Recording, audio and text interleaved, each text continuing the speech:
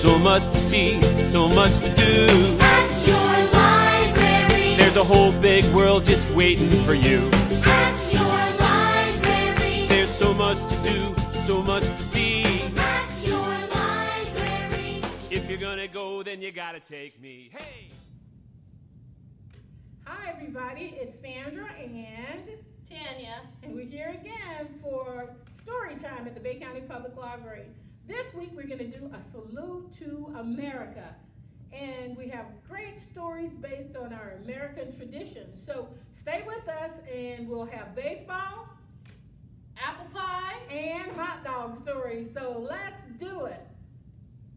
Hey, why don't we do our first story about hot dogs? And we have this fabulous book written by Mo Willems. He gave us permission to read this book today, and it's called The Pigeon Finds Hot Dog. So mm. let's see what happens when the pigeon finds that hot dog. Ooh, a hot dog! Look at this! Ah, yummy, yummy, yummy, yummy, yummy. I love hot dogs. Yummy. I'm about to eat this thing. Uh, may I help you?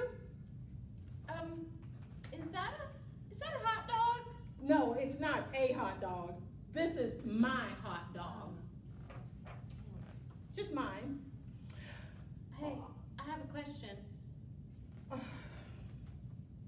Okay. I've never had a hot dog before. What does taste like?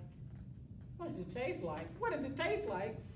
Well, they taste sensational. That's what they taste like. They're sensational. Each morsel is a joy, a celebration in a bun. Yes, they are. If you've never experienced the splendor of a hot dog, listen, you should rip. Uh oh. Wait a second. Wait a second. This hot dog is mine. Let's get that straight. It's mine. I found it and it's mine. Oh no, it's of course. You go ahead and enjoy. Hmm. Go ahead. Okay. Yeah, go ahead. Okay. Uh, uh, okay. I'm. Uh, Would you say it tastes like chicken? can you guys believe this guy? Can you believe this? What? It tastes like a hot dog. That's okay. It just tastes like a hot All dog. right, all right, okay, okay. So, it doesn't taste like chicken then? oh, for Pete's sake! What are you saying? I'm just a curious bird. That's it. That's just it. Let me tell you something. Are you ready for this? It's my hot dog. Listen, mine, mine, mine, my hot dog. This is unbelievable. Finders keepers. And what I really said was finders keepers. I'm a curious bird. what like what does it taste like? Blah blah blah. Yeah, right. I can't take it anymore. What am I supposed to do, huh? What am I supposed to do? Um, What I, what? I think I got an idea. Oh, you do? You know what? Here you go.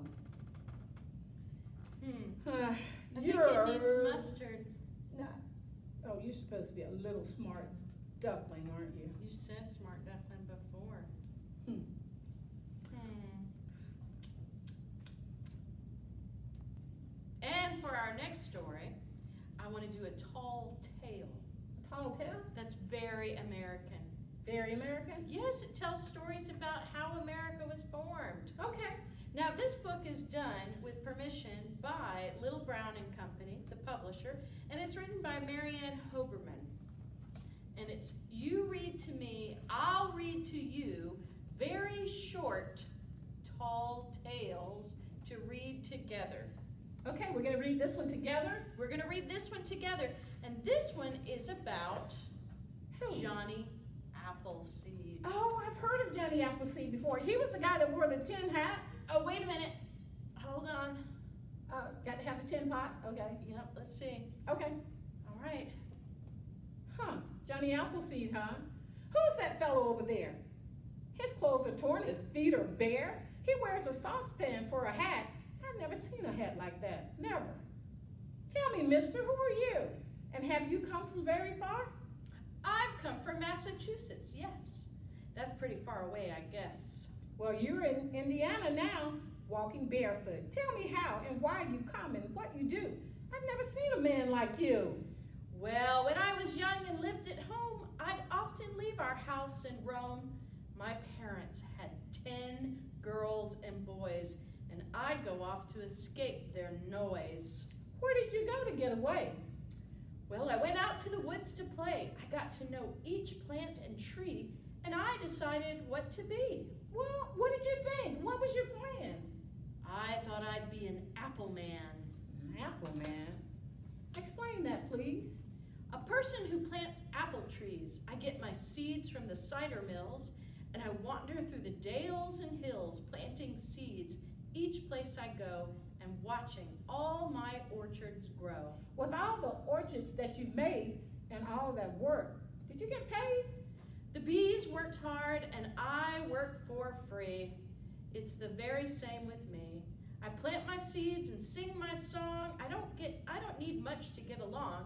And what I get I always spend to help old ailing horses mend. And every person is my friend. Well, you're a wonder, yes indeed. Just think of all the folks you feed. I sure am happy that you come. And by the way, what is your name? Well, it once was Chapman, first name John. Hmm. Not anymore. My old name's gone. Each place I go, they've all agreed to call me Johnny Appleseed. Appleseed. Appleseed. That name is nice. Now when folks eat an apple slice, they'll think of Johnny chew. You read to me and I'll read to you. These are great little stories to use. They have two or three voices, so you can get a friend, get a parent, get someone to help you read it. It's all color coded, so everyone pick a color and read those stories. Johnny Appleseed. Johnny Appleseed. Yum, yum, yum. Apple pie, USA. We got our apple pie. Are we gonna eat now? Huh? Are we gonna eat? Maybe.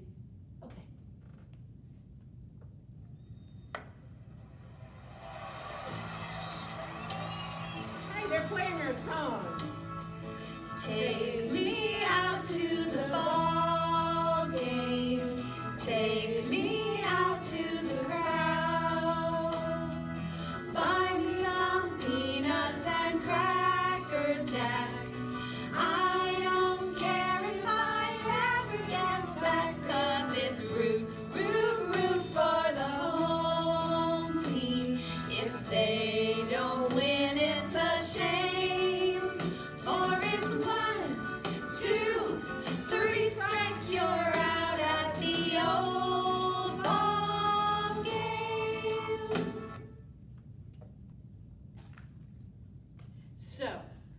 you think of America and you think of history of America, you have to talk about baseball. Baseball. Do it's you know America's pastime, baseball. America's favorite pastime? favorite pastime. That's Mhm. right. My dad was an avid baseball fan. We had basketball, baseball in our house all the time. Well, I don't know if you know this. What? Do you know where baseball started? Uh, no. New York City, 1845. Isn't that amazing? New York City, 1845. I didn't know that. Did you know that Jackie Robinson was the first African American allowed to play in the National uh, Baseball League? Did you know that? And that was all the way in 1945. It was it was a long time. So something else. The world's first World Series was done in 1918, 1918. Wow, that was right during ago. the First World War. Oh, are we gonna have a baseball story today? We do have a baseball story I bet today. it's- Is it fun? Yeah. Okay, what's it called? Huh? It's the Jungle, Jungle Baseball Baseball Game. One of my favorite stories to tell and read. Are you ready for the Jungle Baseball game?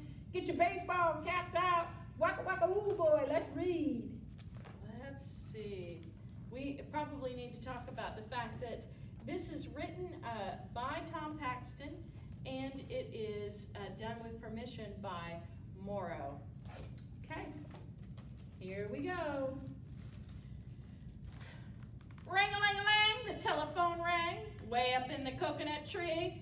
Mr. Monkey ran to answer. Someone's calling me. Oh, Mr. Hippo on the line. Am I getting through? yelled that hippo. Get your monkey baseball team. We want to play ball with you. When the monkeys saw the hippos, all they did was laugh. Those slow pokes, they should just be glad to get our autograph. Watching the hippos warm up, they laughed to themselves to tears, jumping around the dugout.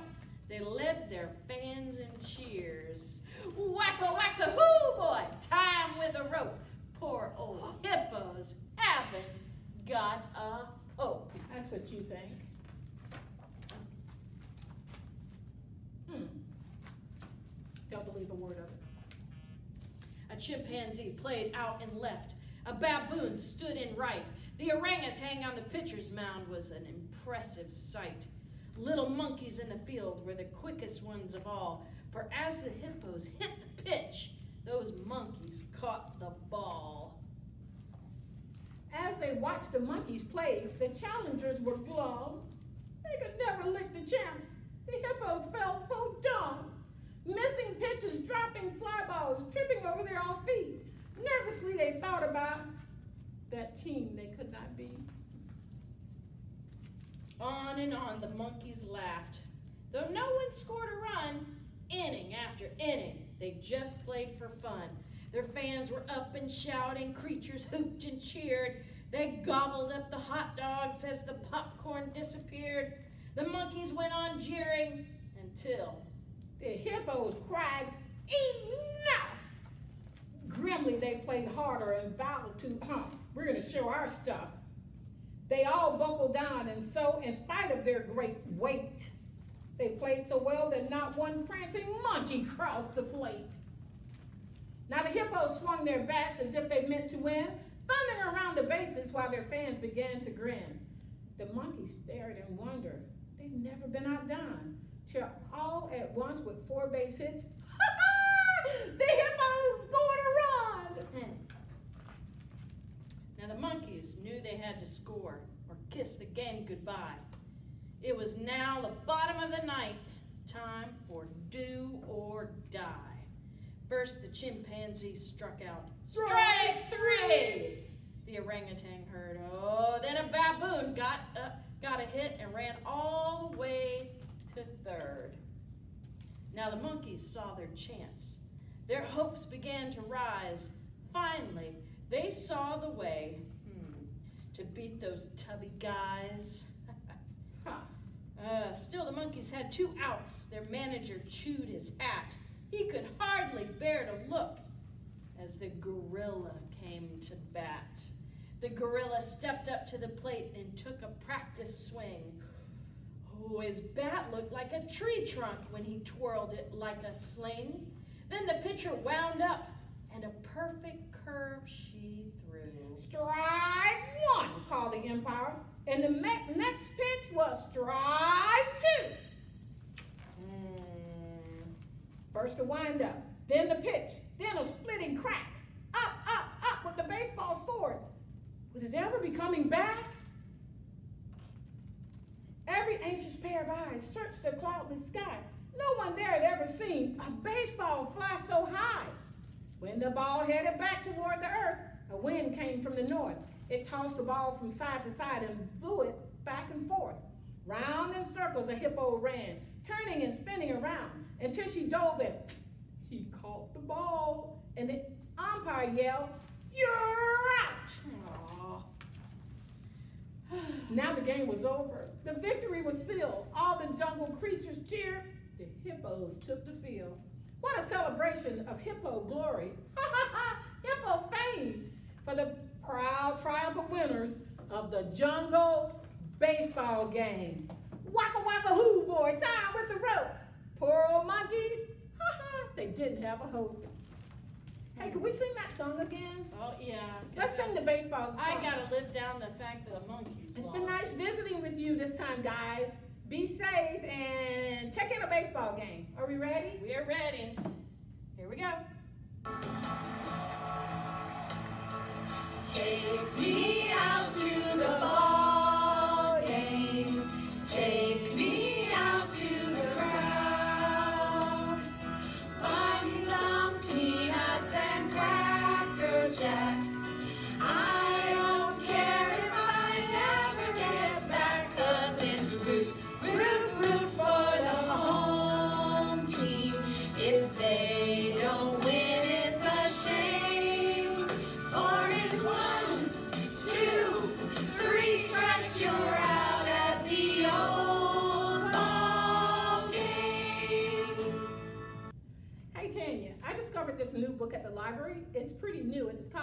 National Geographic Kids Weird But True USA.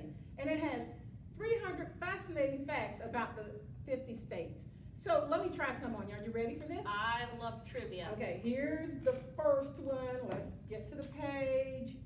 Um, and it says, when you drive 45 miles an hour over a section of highway in New Mexico, the vibrations from the wheels of your car plays America the Beautiful. Uh-uh. No, it's true. It's in this Oh, book. wait, no, no, no. I've got to look that up. Okay, look it up.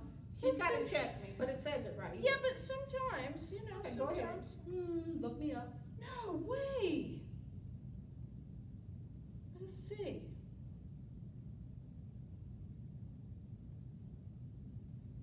I don't hear anything.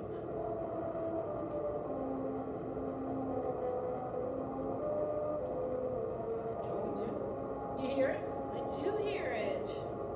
That's in that book? It's in this book. So we got to find that place in New Mexico, have your parents to drive 45 miles an hour, and let those wheels vibrate so you could hear America the Beautiful. Here's one that you should know. Okay. What is the flattest state in the United States?